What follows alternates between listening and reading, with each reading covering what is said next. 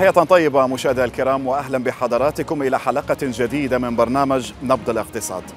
احتل النظام الصحي في قطر المرتبة الثالثة عشر في قائمة أفضل النظم الصحية في العالم والمرتبة الأولى على مستوى منطقة الشرق الأوسط للعام 2017 بحسب مؤشر ليغاتوم للرخاء الصادر عن معهد ليغاتوم في لندن ويصنف الوضع في 149 دولة مؤشر ليغاتوم أظهر ارتقاء النظام الصحي القطري خلال السنوات العشر الماضية بحيث تقدم من المرتبة السابعة والثلاثين عالميا في العام 2008 إلى المرتبة الثالثة عشر في نهاية العام 2017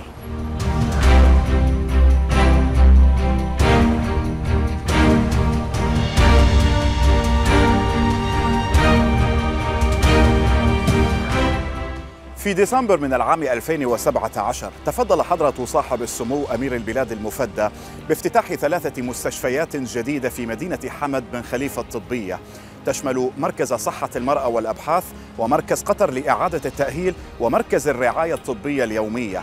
المراكز الجديدة والتي تصل تكلفتها إلى حوالي أربعة مليارات ريال تمثل أكبر مشروع لتوسعة مرافق الرعاية الصحية في تاريخ قطر وتجسد التزاما واضحا بتقديم أفضل خدمات الرعاية الآمنة والفعالة للمرضى.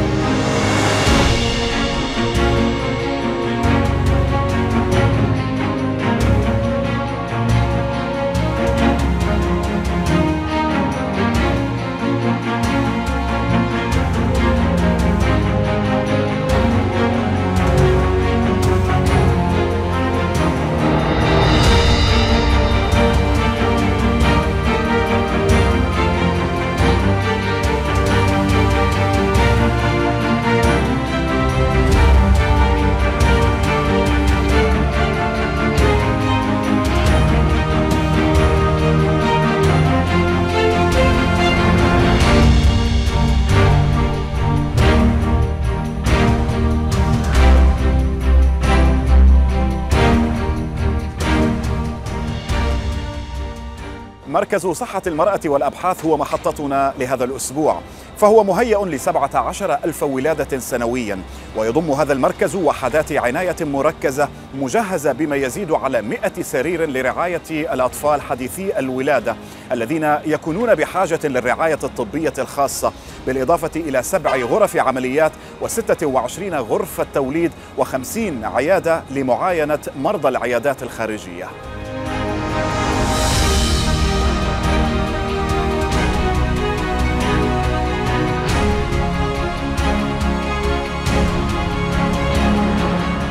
الخير وسهلا صباح الخير. أهلا وسهلا؟ شرفتونا بالزيارة. شكرا. شكرا أهلا لك. وسهلا فيك. اليوم في جولة إن شاء الله في. برنامج نبض الاقتصاد. عن هذا الصرح الطبي دعنا نقول ثلاثة مستشفيات تم افتتاحها قبل عام واليوم تعمل بكامل طاقتها. نعم. تكلمنا عن هذه المستشفيات الثلاث وأين وصلت مراحل التشغيل فيها؟ طبعا هذه آه، إنجاز يضاف إلى إنجازات مؤسسة حمد الطبية آه، اللي دائما هي رائدة وسباقه في هذا المجال في مجال الرعاية الصحية. آه، تم افتتاح المباني الثلاثة في ضمن افتتاح دولتنا الحبيبة في آه، اليوم الوطني في يوم 17 ديسمبر. الافتتاح كان في يوم 17 ديسمبر عام 2017 تشرفنا بسمو الأمير بافتتاح المنشآت الثلاثة.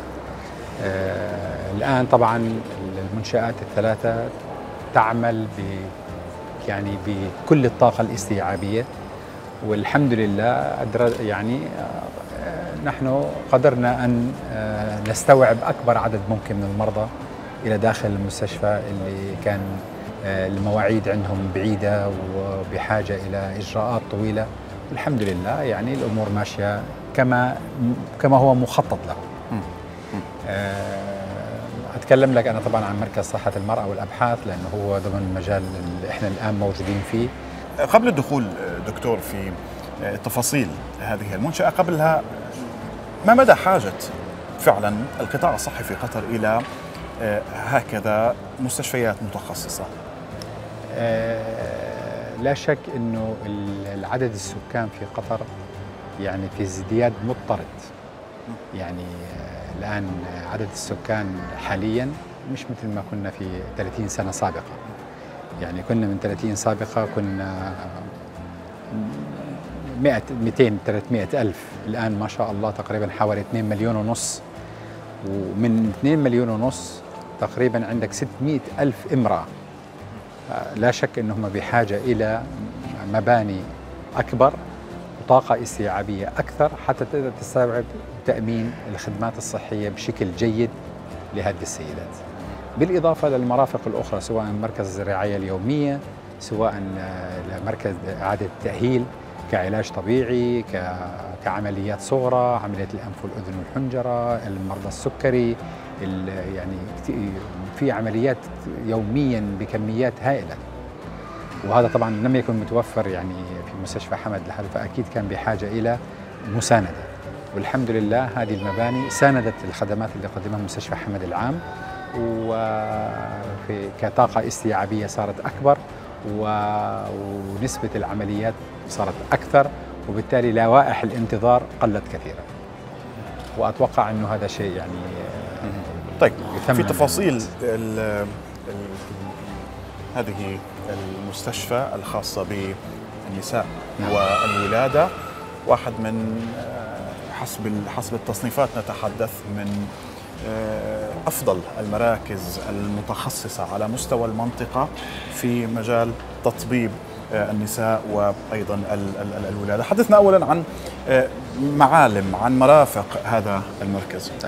هذا المبنى طبعا بمساحة أكبر من المبنى السابق بتقريبا ثلاث أضعاف.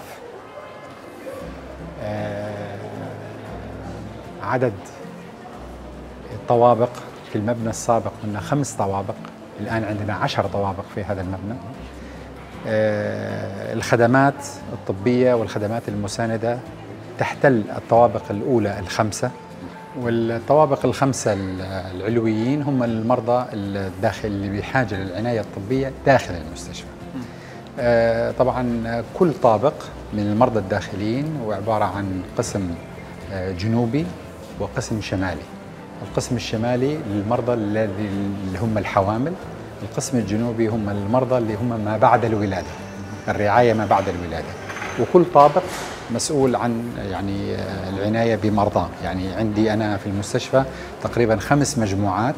كل طابق آه، هناك مجموعة من الاستشاريين مع الأطباء الأخصائيين بالإضافة لطلاب للطلاب اللي هم البورد العربي والطلاب اللي هم المتدربين آه، موجودين في المستشفى. آه، في موضوع آخر اللي هو الأمراض النساء. آه، موجود في قسم الرعاية اليومية الطابق هو الطابق التاسع يعني مختص في العناية الطبية في أمراض النساء. بحاول يعني تقديم كل الإمكانيات كمرضى داخليين يعني نتكلم عن الطوارئ. بالنسبة للطابق الأرضي اللي في مبنى مركز صحة المرأة والأبحاث يوجد فيه اللي هو قسم الطوارئ ويوجد فيه قسم التشخيص الشعاعي.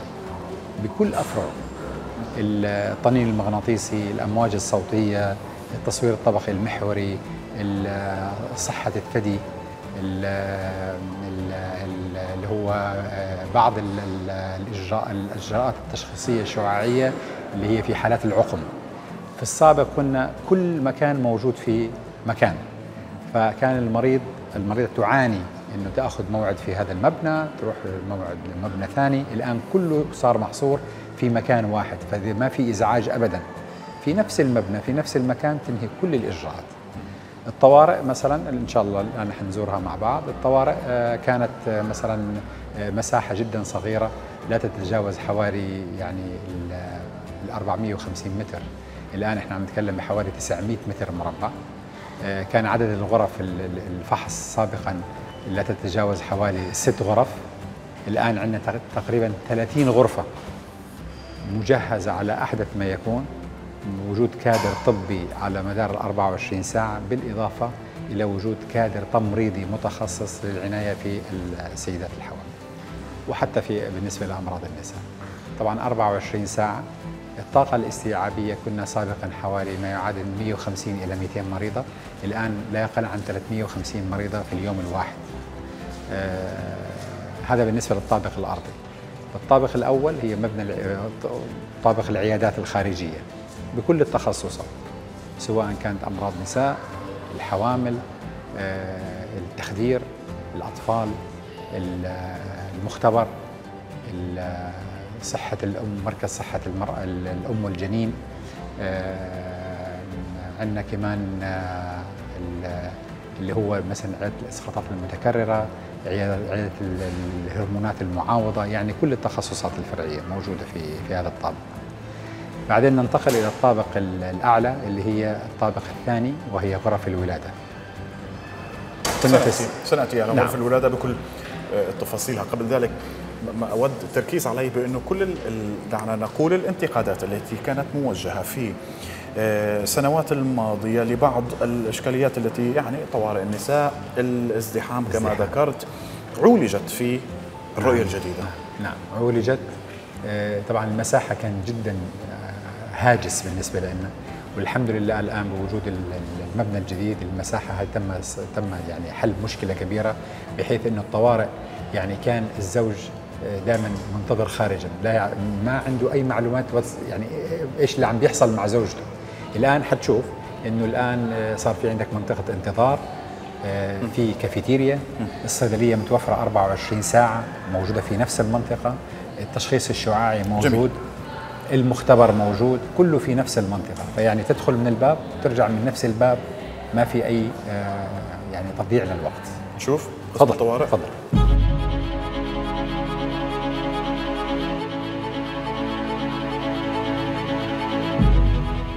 قسم الطوارئ في مركز صحة المرأة والأبحاث يحتل جزء كبير من الطابق الأرضي آه، بطاقة استيعابية تقريبا حوالي 950 متر مربع بيحتوي على حوالي 30 غرفة. طبعا تتوزع بين الرعاية للحوامل بالإضافة لأمراض النساء لغرف الطوارئ الولادة عناية مركزة آه، غرف اجتماعات غرف أطباء غرف الإداريين كلها موجودة في ضمن هذا الطابق. آه، بالإضافة لمناطق الانتظار للنساء والرجال صيدلية 24 ساعة بالإضافة إلى المختبر وتشخيص الشعاعي هذا كله متوفر في ضمن مكان واحد مش مثل السابق اللي كانت المريضة تتنقل من طابق إلى طابق وكان مزعج جدا. آه، عارف حامل إنها تطلع وتنزل تطلع وتنزل. فالأمور هذه كلها الآن انحلت.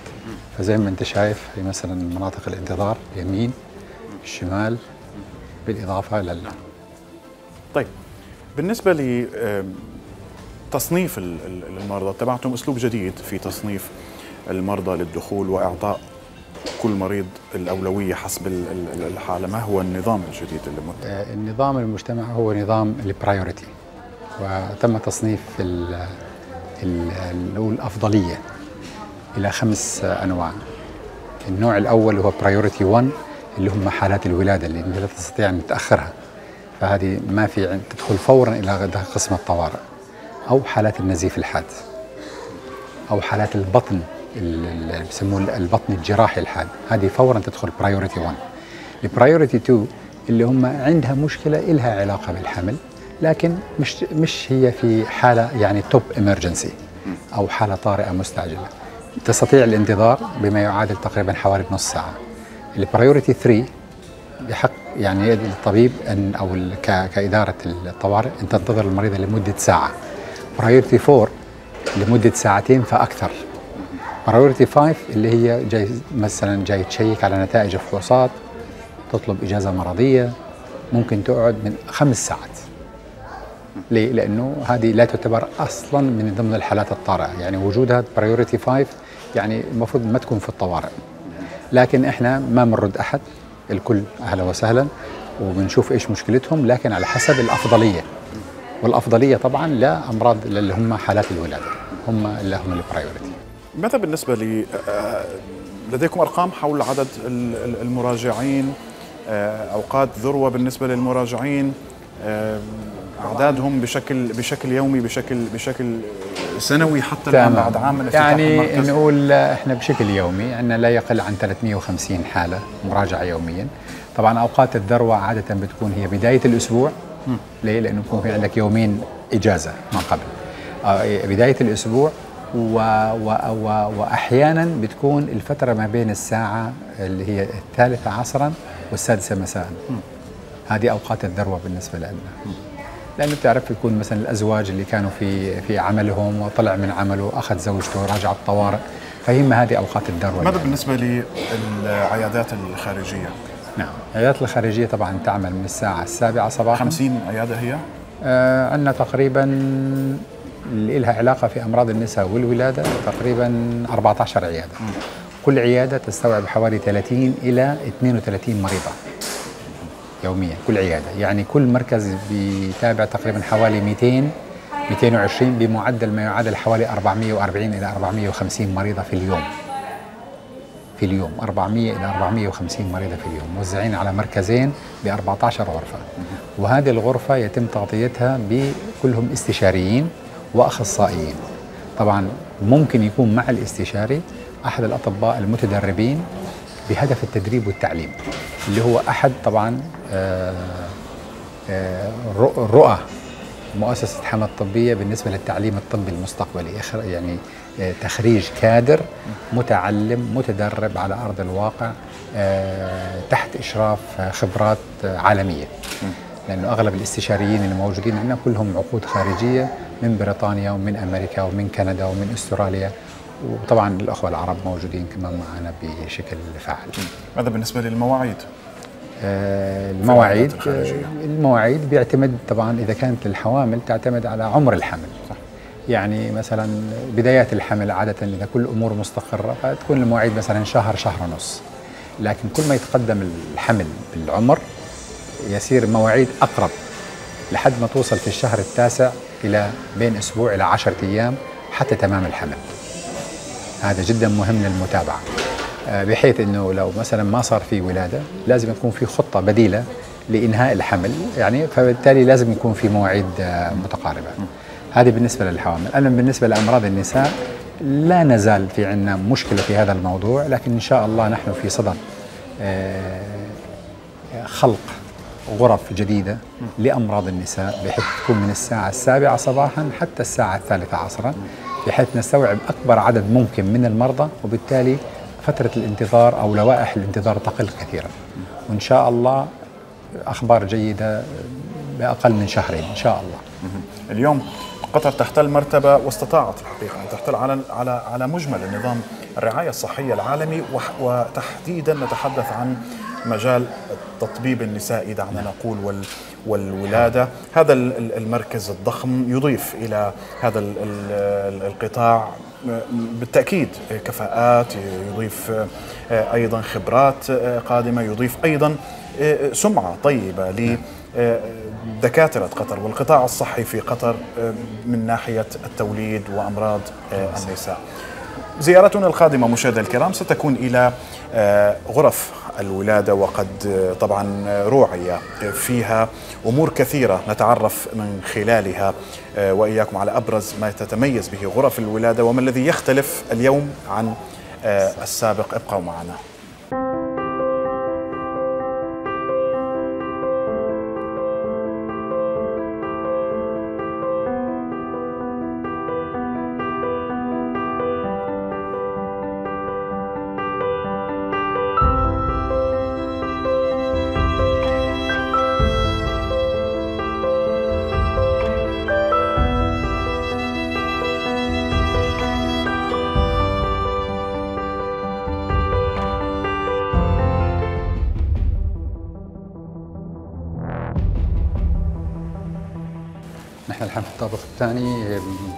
غرف الولادة وغرف العمليات الطوارئ و...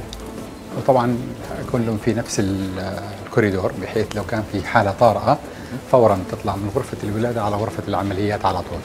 غرف العمليات طبعا مجهزة باحدث مستوى من التجهيزات سواء كانت المونيتورز الطاولات. فمجهزة على أحدث يعني ما توصل له العلم من تجهيز غرف العمليات. وطبعا هذه التجهيزات إن شاء الله رح تخدم دولة قطر لل 15 20 سنة القادمة. السلام عليكم. وعليكم السلام. سستر هيلا سويدي فرصة سعيدة. رئيس التمريض. سستر سمية مساعدة رئيس التمريض لغرفة الولادة. وسستر ريم كمان مساعدة رئيس التمريض لغرفة الولادة. فرصة سعيدة. مساكم الله بالخير. آه، طبعا هذه غرفة الولادة وزي ما تكلمنا في الموضوع كنا قبل تقريبا حوالي 16 غرفة الآن آه، 23 غرفة بالإضافة إلى غرف أخرى سيتم يعني استغلال يعني استخدامها في المستقبل القريب إن شاء الله.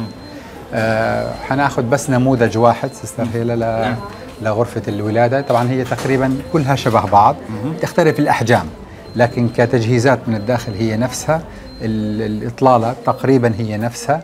وطبعا الكادر الطبي أكيد حيكون هو نفسه على أحسن ما يكون إن شاء الله. طيب نشوف إحدى الغرف. آه تفضل.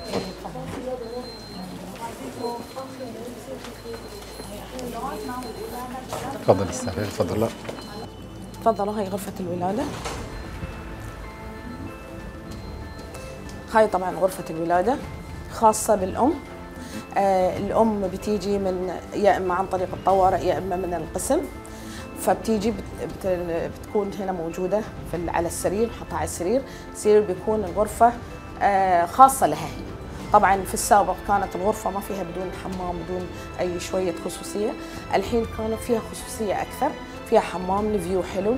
طبعا ال monitor شغال للأم. لحد ما الأم تولد ال monitor آه، على طول شغال. تقدر الأم تتحرك. بال monitors. ما في أي مشكلة. يعني ما في تقيد إنه لازم هي تكون على السرير إلا في حالة عطوها الإبرة الظهر. طبعا في مولدات قانونيات آه، متواجدين في غرفة الولادة. هم أحيانا يولدون المريضة. الا يعني في محتاجين خصوصية تبي الممرضة هي اللي تولدها هي اللي بتولدها.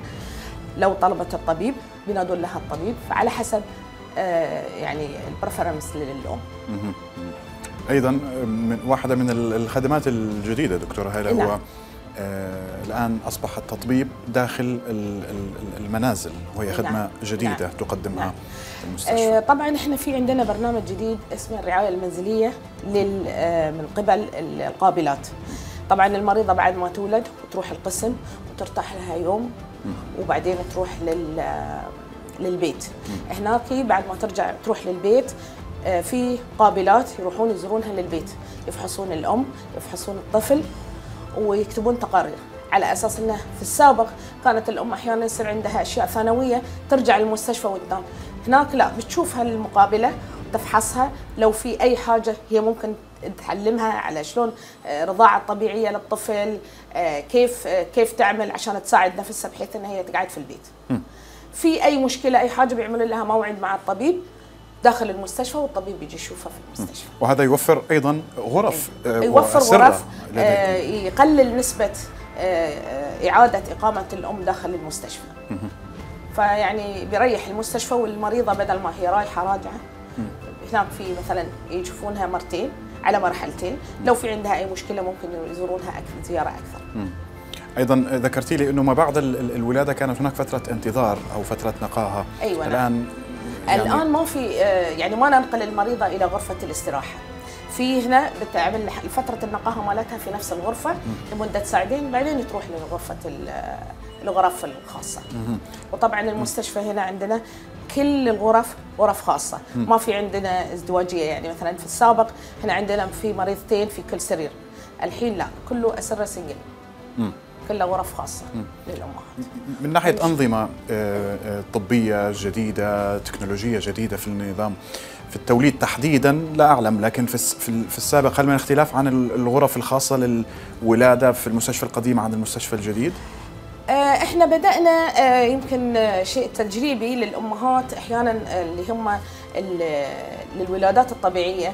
بدل ما تأخذ الأم إبرة في الظهر نعمل لهم زي تمارين رياضية داخل غرفة الولادة. يعني في مثلا بالكورة على أساس تخفف آلام المخاض فطبعا في بعض الأمهات ما يتقبلون هالشيء يحبون إنهم يأخذون إبرة الظهر كتخفيف. بس بالعكس في أشياء ثانية تخفف آه، الآلام الولادة أو تقلل من من الألم الولادة. دكتور ذكرت لك أيضا إنه هناك نظام جديد آه، سيتم تدشينه إن شاء الله. خلال الشهر الحالي الروبوت أو إجراء آه العمليات هذا الروبوت طبعا له علاقة في عمليات أمراض النساء. ليس للحمل ولا يعني نتمنى إنه يجي يجي يوم نشوف نشوف الروبوت هو اللي عم بيولد. بس أنا اي داوت يعني ما أعتقد. هو بس فكرة إنه الروبوت لعمليات أمراض النساء آه، دقيق سريع آه، أكثر راحة للطبيب. يعني أنا ما مش ضروري أكون متعقم. إن شاء الله لما نوصل عند طابق العمليات أنا بعمل لك شرح آه، وافي يعني. جميل. هذه غرفة العمليات والآن ما بعد العملية؟ الولادة. الولادة, الولادة. نعم. الآن غرف العمليات هي كأي غرفة عمليات آه، أخرى بأي مكان في العالم بس مجهزة آه، للست اللي موجود أو الأجهزة اللي موجودة للولادات. يعني ما بقدر مثلا أجيب أعمل فيها عملية مناظير صح. لأنه هي مش مجهزة. لكن هي فيها ست جاهز لعملية القيصرية. آه معروفة إنه هذه العملية القيصرية فكل الطاقم طبعا متدرب وعارف وعنده الخبرة إنه كيف يجهز بسرعة. وكادر التخدير موجود 24 ساعة كادر التمريض موجود 24 ساعة نعم. وعلى أعلى مستوى إن شاء الله. نعم. اذا إلى الغرف العادية التي نعم. تستقبل المرضى لا ما هي فترة النقاء اللي هي فترة آه، الإقامة ما بعد الولادة. نعم جميل. واللي عادة يعني تتراوح بين 24 إلى 48 ساعة على حسب الحالة. وزي ما تفضلت آه، أختنا هيلا إنه الآن إحنا بصدد هذا البرنامج اللي راح يخفف كثير من عملية الإقامة داخل المستشفى وبالتالي تأمين غرف بشكل كافي. يكون دائما في عندنا غرف إنه الرعاية المنزلية. فالرعاية المنزلية القابلة بتقوم بما تقدر عليه. والذي لا تقدر عليه هي على تواصل مباشر مع الكادر الطبي اللي موجود هنا وتأخذ منه النصيحة. لكن لو اضطر الأمر لإحضارها للمستشفى طبعا المستشفى 24 ساعة شغالة وخدمة الإسعاف موجودة. سمعنا إنه آه، هناك توجه جديد لإعداد كادر طبي من القابلات. أيوه نعم. آه عندنا طبعا الحين حاليا آه في صدد إن إحنا نستقطب أو حاليا استقطبنا حوالي ست قابلات قانونيات طبعا آه من درجة الماجستير. آه هم طبعا بيكونون متخصصين في آه في التوليد ومتابعة المرضى. فبيكون لنا آه لهم عيادة آه بيتابعون المريضة في العيادة. آه طبعا المرضى اللي هم لا عندهم سكر ولا ضغط آه يعني حمل طبيعي. فبتتابعها لحد الولادة وبتجيبها لغرفة الولادة وهي اللي راح تولدها. يعني بدون أي مطمور على أي طبيب إلا في حالة إنه حصل عندها أي مشكلة طبعا بنادي الطبيب. ولكن التقييم كامل من قبل القابلة القانونية. بتتابعها في العيادة طول فترة الحمل أو بتتابعها في فترة الولادة. وما بعد الولادة بيكون في لها زيارة للمنزلية. في حالة أن هي آه، حصل عندها أي مشكلة الطبيب آه، هو اللي بيكون متواجد. فهي طبعا خدمة جديدة إحنا نقدمها حاليا وحوالي شفنا يمكن بالنسبة للقوابل الزيارة المنزلية حوالي في الشهر نشوف حوالي 100 مريضة في الوقت الحالي. هي طبعا تجريبية بس والمرضى حابين أنهم القابلة القانونية تجيهم للبيت. فكان جميل. يعني جدا اذا الشكل القادم أو الإجراء القادم بالنسبة لعمليات الولادة ستكون عبر القابلات القابلات. نعم. القانونيات. نعم. نعم. واضح. هذه غرفة الولادة ومن ثم آه، زيارتنا القادمة إلى الغرف ما بعد؟ ما بعد الولادة الولادة. تفضل دكتور. تفضل.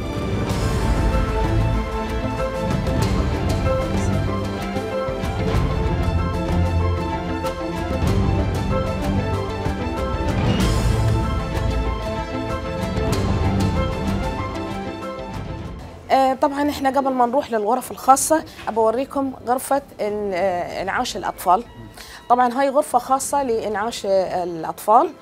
آه، في عندك هني جهاز مخصص لإنعاش الطفل اللي هو ال- بالسن الغير قانونية لل- للولادة طبعا قبل تسعة أشهر.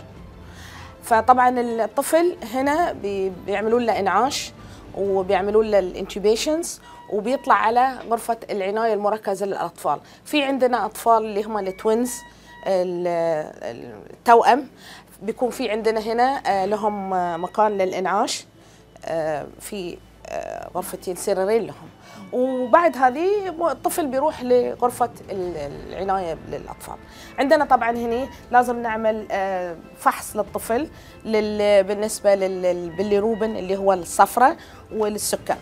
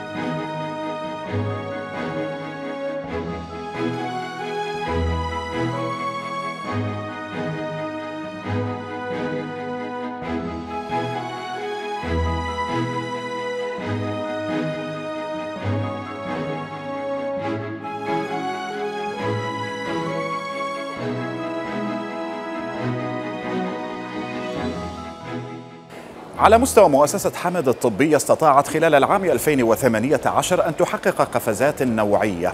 كان آخرها تدشين مستشفى حزم بريتش العام الواقع في المنطقة الصناعية والذي يسهم في تخفيف الضغط على المستشفيات الأخرى التابعة لمؤسسة حمد خاصة أقسام الطوارئ في مستشفى حمد العام ومستشفى الوكرة. مرافق مؤسسة حمد الطبية تتعزز بمنشأة جديدة هي مستشفى حزم باريكا العام. الذي افتتح رسميا في قلب المنطقة الصناعية مجسدا حرص الدولة على توفير أرقى الخدمات الصحية للمواطنين والمقيمين.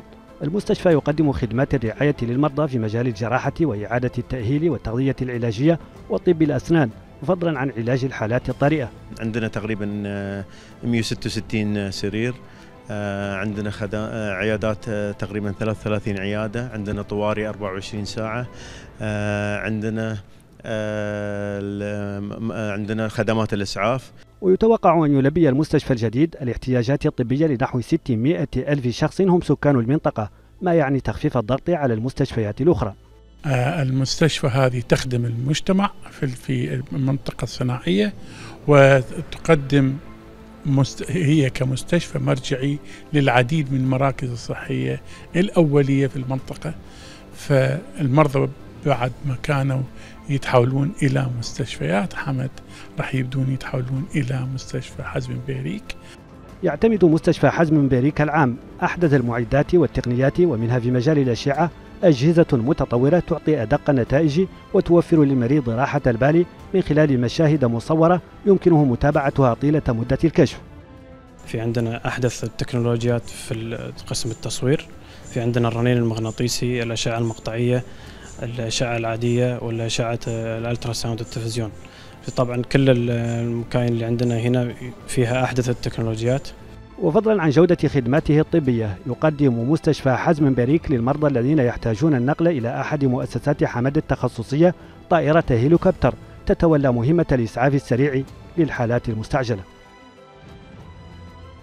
نحن الآن موجودين في أحد الطوابق الخمسة العلوية للمبنى مركز صحة المرأة والأبحاث اللي بتضمن جهة الغرف الإقامة لما بعد الولادة اللي هي فترة النقاهة ما بعد الولادة واللي عادة تتراوح بين 24 إلى 48 ساعة على حسب الحالة. أما القيصريات عادة بتكون فترة أطول إلى حوالي 72 ساعة. آه طبعا مجهزة بما يراعي الخصوصية للمريضة. والراحة بنفس الوقت والآن إن شاء الله بنشوف مع بعض كيف التجهيزات اللي موجودة داخل الغرفة موضوع الخصوصية هذا موضوع هام لأنه في السابق كما تعلم كانت الغرفة الواحدة قد تضم مريضتين نعم. آه، أو ثلاث أو أربع حتى نعم. في بعض نعم. ال- الغرف هذا راعي طبعا في نعم. هذه راعينا بس آه، يعني للمعلومة أنه دولة قطر هي الدولة الوحيدة في العالم اللي بتأمن غرف خاصة لجميع المقيمين على هذه الأرض الطيبة سواء كان مواطن أو مقيم. كل غرف خاصة وبالنسبة لل طبعا لل- للأخوات المقيمات برسوم رمزية جدا لا تذكر. لا تذكر أبدا. وطبعا بالنسبة للأخوات المواطنات طبعا آه، يعني آه، من غير أي آه، دفع. طبعا كان الموضوع الخصوصية بالنسبة للمرضى هذا كان هاجس بالنسبة لهم والحمد لله قدرنا نحقق هذا الشيء. الغرف بتفاوت حجمها من آه، بالمساحات. لكن الهدف واحد وهو الخصوصية. وإن شاء الله الآن ندخل على أحد الغرف كنموذج وإن بتشوف يعني على الواقع آه، كيف تجهيز هذه الغرفة. تفضل. تفضل.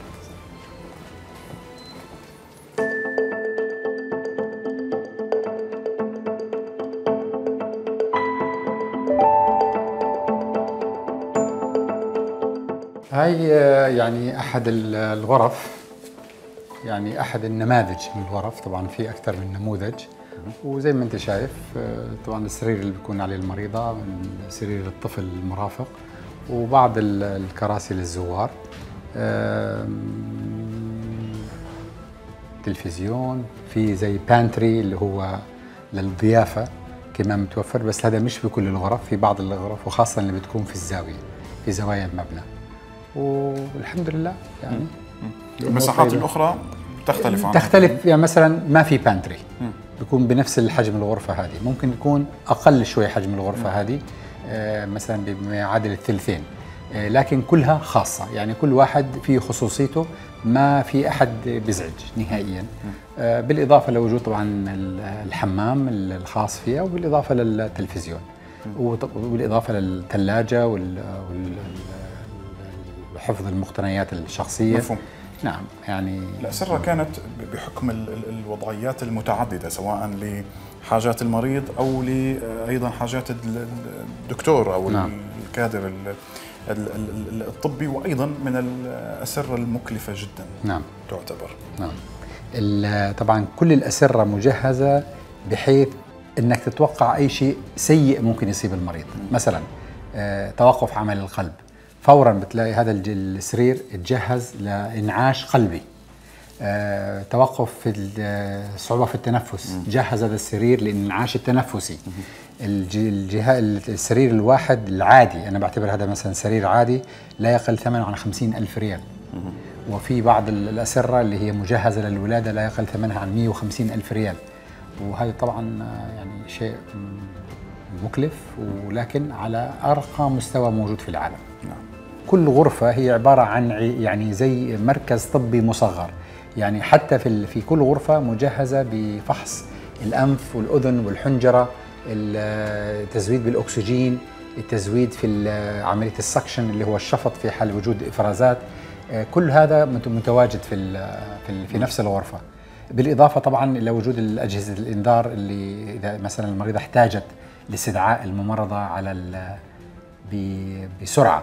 ففي عندي ثلاث يعني ثلاث ألوان اللون الأصفر واللون الأحمر واللون اللي هو الأخضر. الأخضر طبعا حاجة عادية اللون الأصفر اللي هو متوسط الضرورة واللون الأحمر يعني هو التوب امرجنسي اللي بناء عليه الممرضه تقوم باستدعاء الكادر الطبي اللي موجود من الاستشاري والأخصائي. اللي لازم يكونوا متواجدين في الغرفة. فهذا كله موجود موصول مع محطة المراقبة الممرضات بالخارج. فالمريضة يعني وجودها في الغرفة لا يعني أن هي مستقلة تماما وما حد بيعرف عنها.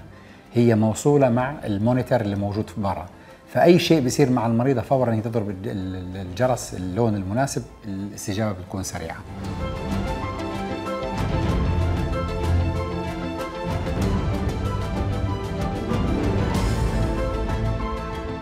طبعا هذا مبنى ال- الأول في مركز صحة المرأة والأبحاث اللي عادة هو مبنى أو طابق العيادات الخارجية سواء كانت لرعاية الحوامل أمراض النساء المسالك البولية النسائية جراحة الأورام آه، بالإضافة للخدمات المساندة من المختبر من قسم التصوير الشعاعي من الرعاية اليومية للحوامل آه، المركز صحة الأم والجنين بالإضافة إلى هو الكشف المبكر عن الحمل. كلها متواجدة ضمن نفس الطابق والهدف أنه لو احتجت أي خدمة مساندة تكون في نفس المستوى بنفس الطابق ما في هذه المشاوير اطلع وانزل وروح وخذ موعد كله في نفس الوقت. أحيانا للأمانة يعني بيكون في ضغط وخاصة في الفترة اللي هي ال weekend بيكون في ضغط على هذه المناطق الخدمات المساندة فبنضطر نقول مثلا إما المريضة تتأخر أو إنه نعطي موعد قريب. أين أين المشكلة تكمن إذا ما كان هناك؟ أنا لا أتحدث فقط عن مركز صحة المرأة أتحدث عن كل ال يعني ال ال الأقسام المتخصصة. هناك ازدحام هناك يعني شكاوى من بعض. كما هو يعني موجود ومتعارف. هل المشكلة في المريض في أنه يعني عملية الاستعجال؟ أم هي مشكلة في التنظيم؟ أم هي مشكلة في آه، ازدياد عدد سكان وقلة مراكز صحية؟ الآن أصبح لدينا انظر إلى عدد المراكز الصحية التي تم افتتاحها المستشفيات الضخمة أيضا التي تم افتتاحها. تصنيفات التي أخذتها المستشفيات آه، كمستشفيات الخاصة للعمال فقط. نعم. المشكلة بالأمانة. المشكلة أنه الدو أو وزارة الصحة قامت بتوزيع جغرافي لسكان مدينة الدوحة بحيث أنه كل المقيمين اللي موجودين تم توزيعهم إلى المستشفيات بحسب موقعهم الجغرافي في المدينة. فسكان المنطقة الجنوبية مفروض أنهم يتابعوا في مركز الوكرة أو مستشفى الوكرة. سكان المنطقة الشمالية في مركز أو في مستشفى الخور. آه، وأيضا في المستشفى الكوبي. لكن للأسف للأسف معظم الأخوات المقيمات لا يلتزموا بهذا الشيء. آه، بيتابعوا في مركز في في الوكرة وبكون في لهم موعد للعملية أو موعد تحريض للولادة. لكن تيجي على المستشفى الرئيسي. لأي سبب؟ يقول لك قال لقرب المسافة. طيب هذا قانون دولة. يعني يجب أن نحترمه. وهذا أنا أعتقد أحد الأسباب اللي مخلي فيه عبء علينا زيادة في المركز اللي هو التيرشري اللي هو المركز الرئيسي المستشفى لو كل واحد يلتزم في مكان العلاج اللي هو مخصص له يقل يقل الضغط على هذا المستشفى بالإضافة يكون العطاء أكثر وبالتالي المواعيد بتكون أقرب وبتكون الخدمة أفضل. آه، أنا أعتقد هذا هو السبب مينلي السبب الرئيسي هو هذا عدم الالتزام بالتوزيع الجغرافي للمرضى. أكيد لا شك إنه الكادر الطبي كمان نحن بحاجة إلى زيادة الكادر الطبي نوعا ما حتى نقدر نستوعب الزيادة المضطردة في عدد السكان. يعني الآن تقريبا بآخر إحصائية وصلنا حوالي 2 مليون و600 ألف منهم تقريبا حوالي 600 ألف امرأة آه، عايشين على قطر في قطر. ف 600 ألف يعني بحاجة إلى إلى يعني طاقة طاقة لا يقل عن 10 مستشفيات بهذا الحجم. لكن الحمد لله بالإمكانيات المتوفرة والدولة ما مقصرة أبدا آه، نستطيع أنه نلبي هذه الاحتياجات أنا هذا برأيي نعم. السبب اللي ممكن يخلي أنه يكون في آه، مواعيد وانتظار وإلغاء عدم الالتزام بالتوزيع المطلوب نعم. وأتمنى عبر برنامجك القيم إنه رسالة للأخوات المقيمات إنه رجاء الالتزام بالتوزيع الجغرافي لسكنك. بالتابع في الوكرة يجب أن تولد إلى مستشفى الوكرة تولدي في مستشفى الوكرة ما في داعي تيجي للدوحة. عملت دولة قطر على الاستثمار في القطاع الصحي انطلاقا من الوعي الكبير بأهمية هذا القطاع وارتباطه الوثيق بركائز التنمية المستدامة. ليحقق القطاع الصحي خلال الآونة الأخيرة قفزات نوعية على صعيد زيادة السعة الاستيعابية والارتقاء بجودة الرعاية. ومن أهم المحطات لعام 2018 هو حصول النظام الصحي في قطر على المرتبة الثالثة عشرة بقائمة أفضل النظم الصحية في العالم والمرتبة الأولى على مستوى منطقة الشرق الأوسط والمرتبة الأولى أيضا عربيا في معدل الحياة المتوقع بعد الولادة عند أكثر من 78 سنة. وتم تدشين الاستراتيجية الوطنية للصحة 2018-2022 ومن أهم جهود القطاع الصحي لتأمين رفاه صحي للمواطنين والمقيمين على أرض قطر هو الدفع بزيادة الضرائب على منتجات التبغ والمشروبات الغازية في إطار تقنين استخدام التبغ ومشتقاته. وأما على مستوى مؤسسة حمد الطبية فقد استطاعت خلال عام 2018 أن تحقق عدة إنجازات. كان آخرها تدشين مستشفى حزم بيرك العام في المنطقة الصناعية وهو ليس المستشفى الوحيد الذي ينشأ خارج منطقة الدوحة فهناك ثلاثة مستشفيات للعمال في البلاد. يأتي ذلك ضمن اهتمام الدولة بتوفير خدمات صحية عالية المستوى لجميع فئات المجتمع وفي إطار رؤية قطر الوطنية 2030 حيث يتوقع أن يكون للمستشفيات الجديدة الأثر الكبير في رفع مستوى الخدمة الصحية بشكل عام نتيجة استيعاب هذه المستشفيات للمراجعين من القوى العاملة في المناطق التي تخدمها وبما يخفف الضغط على المستشفيات داخل مدينة الدوحة. ومن الإنجازات تدشين المختبرات الطبية المركزية الجديدة وإطلاق الخطة الوطنية للخرف والخطة الوطنية لمكافحة مرضى السكري. وعلى مستوى مؤسسة الرعاية الصحية الأولية فقد تم تدشين ثلاثة مراكز صحية مركز الوجبة للصحة والمعافاة ومركز معيذر الصحي ومركز الوعب الصحي.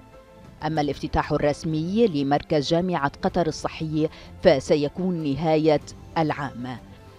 حيث يصل عدد المراكز الصحية حاليا إلى 27 مركزا على أن يصل إلى 30 مركزا. بالإضافة إلى تطبيق خدمات الفحص الذكي وإطلاق البرنامج الوطني للسرطان. ومؤخرا كشفت تقارير اقتصادية النمو والإنفاق على قطاع الرعاية الصحية في قطر بمعدل سنوي بلغ 22% كما بلغ إجمالي مخصصات قطاع الصحة في الموازنة العامة لسنة 2019 ما يقارب 22 مليار و700 مليون ريال ويمثل 11% من إجمالي المصروفات. اليوم دكتور مرينا وانتهينا من عام. نعم.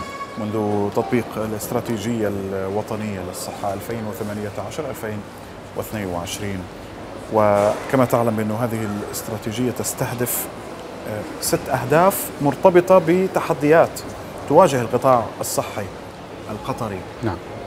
من ناحية أمراض كالسكري وأمراض كالضغط وأمراض آه، آه، أخرى.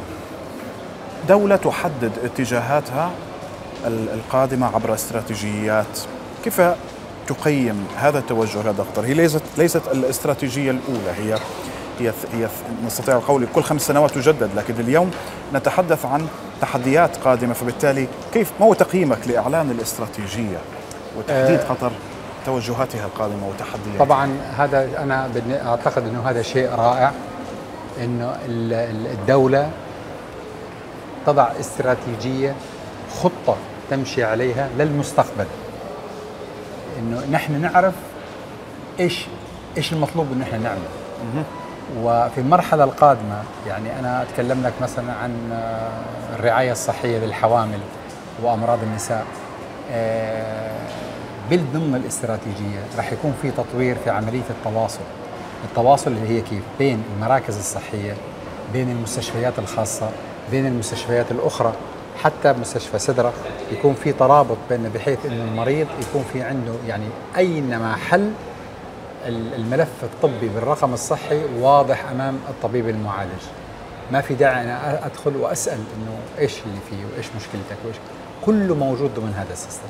فهذا طبعا هذا استراتيجية كنوع من تطوير ال ال ال ال الرعاية الصحية للمرضى آه،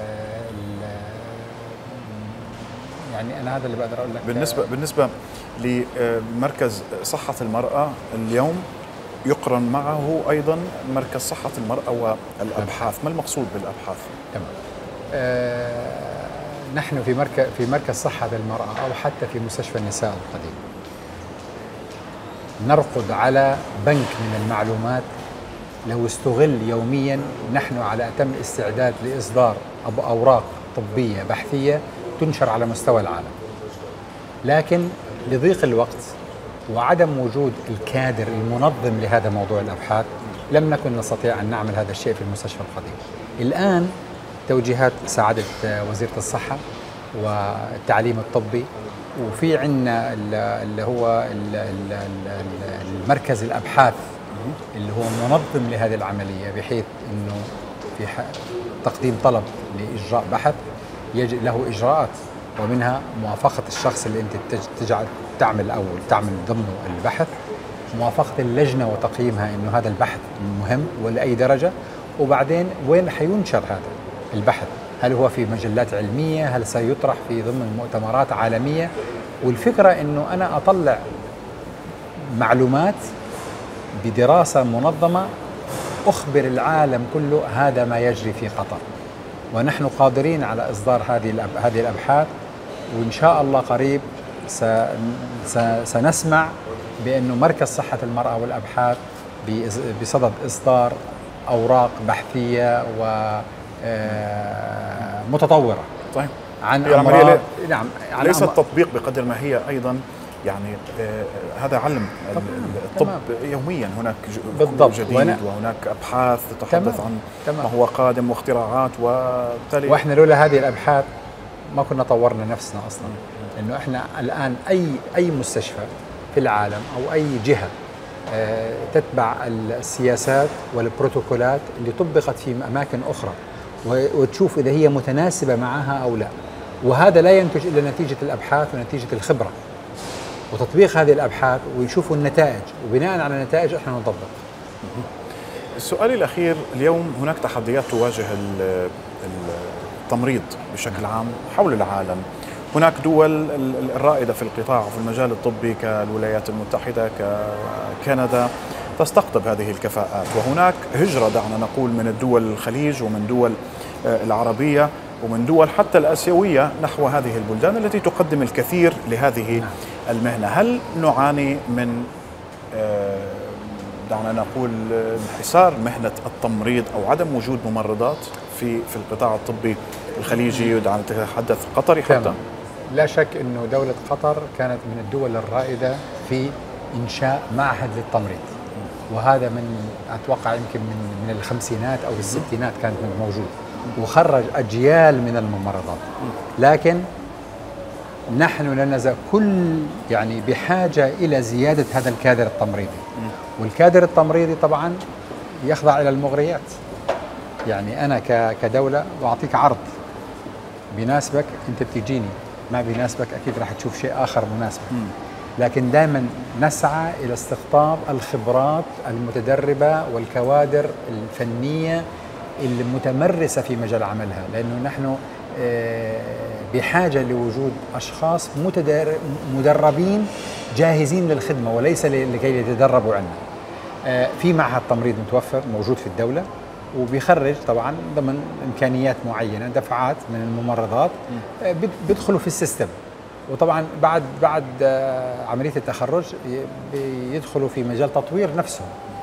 إما بشهادة ماجستير أو في آه، دورات workshops أو دورات تدريبية لتطوير حياتهم العملية. ونتمنى كل الخير إنه إن شاء الله نقدر يكون عندنا نوع الاكتفاء الذاتي كممرضات وممرضين خريجين معهد التمريض القطري إن شاء الله نتمنى. نشكرك جزيل. الله يسلمك. الشكر دكتور. شكرا جزيلا. شكرا, شكرا جزيلا. وتشرفنا بلقائك ونتمنى لكم التوفيق. الله يسلمك.